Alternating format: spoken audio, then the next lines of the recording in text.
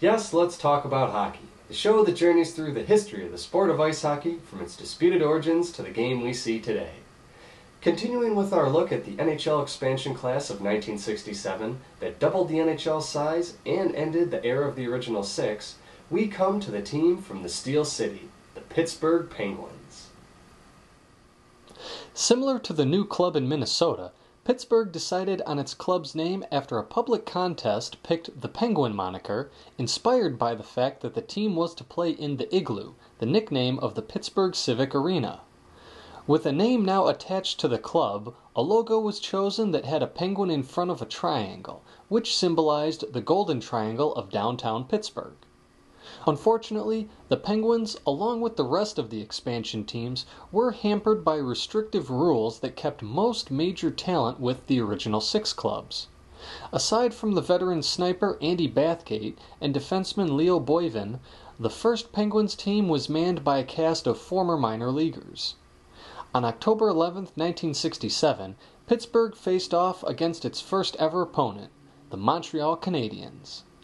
Unfortunately, this inaugural game would end in a 2 1 loss to the Canadiens. This would be an indicator of the direction the club's first year would go, as even though they became the first team from the expansion class to beat an Original Six team when they defeated the Chicago Blackhawks 4 2 on October 21, 1967, the Penguins went 27 34 13, missing the playoffs and ending the year with the third worst record in the league. Their sophomore year in 1968 69 produced even lower results than their first year, as the only thing that kept them from finishing dead last in the league was the fact that they had managed to win two more games than the Minnesota North Stars.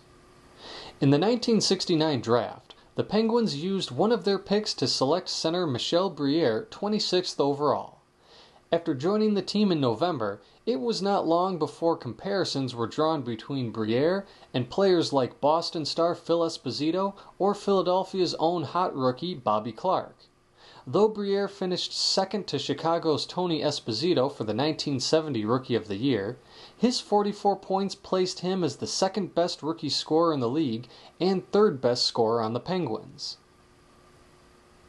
Briere's numbers helped the Penguins earn their club's first ever playoff berth in 1970. In their opening series, Briere would even be the one to score the series clinching overtime goal in Pittsburgh's four game sweep of the Oakland Seals.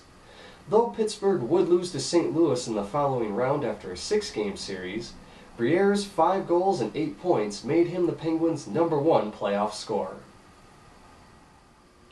Unfortunately, mere days after Pittsburgh's playoff exit, their new young star was involved in a car crash on May 15, 1970, and suffered brain trauma that placed him in a coma for the next year before he died on April 13, 1971.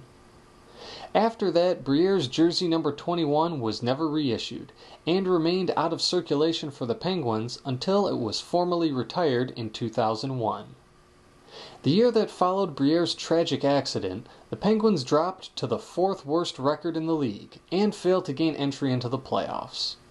For the 1971 72 season, they would make only a brief playoff appearance, losing to Chicago in four games in the first round. Then, the following two years would again see the Penguins failing to finish high enough to qualify for the playoffs. And by early 1975, the Penguins' creditors demanded payment of back debts, forcing the team into bankruptcy. The doors to the team's offices were padlocked, and it looked like the Penguins might fold or relocate. About the same time, rumors had begun to circulate that the Penguins and California Golden Seals were to be relocated to Seattle and Denver, respectively, the two cities that the NHL was considering expanding to for the 1976 77 season. Luckily, through the intervention of a group that included former Minnesota North Stars head coach Wren Blair, the team was prevented from folding and remained in Pittsburgh. While all of this was going on, the Penguins were beginning to turn things around back on the ice thanks to the likes of their Century line, featuring Jean Pronovost, Lowell MacDonald, and Syl Apps Jr., whose combined 94 goals and 214 points got Pittsburgh back into the playoffs. Once there, the Penguins swept the Blues in their opening round, and followed that up by continuing their winning streak into the second round, where they built up a three games to nothing lead over the New York Islanders. However, Pittsburgh's success came crashing down hard when the Islanders took the next four games in a row to send the stunned Penguins packing, and became only the second team in NHL history to ever come back from a 3 0 deficit to win their series.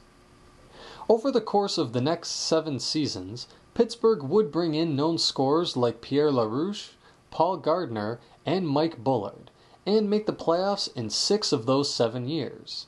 However, with the exception of a trip to the second round in the 1979 playoffs, Pittsburgh during this time would never make it out of the first round.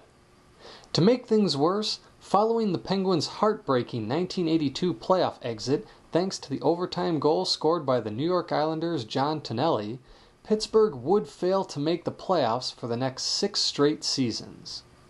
With the club's financial problems carrying the possibility that the team would fold during the middle of this playoff drought, it would be the drafting of the highly touted young star Mario Lemieux in the 1984 draft that turned the club's fortunes around and set them on the path to becoming the team we see today.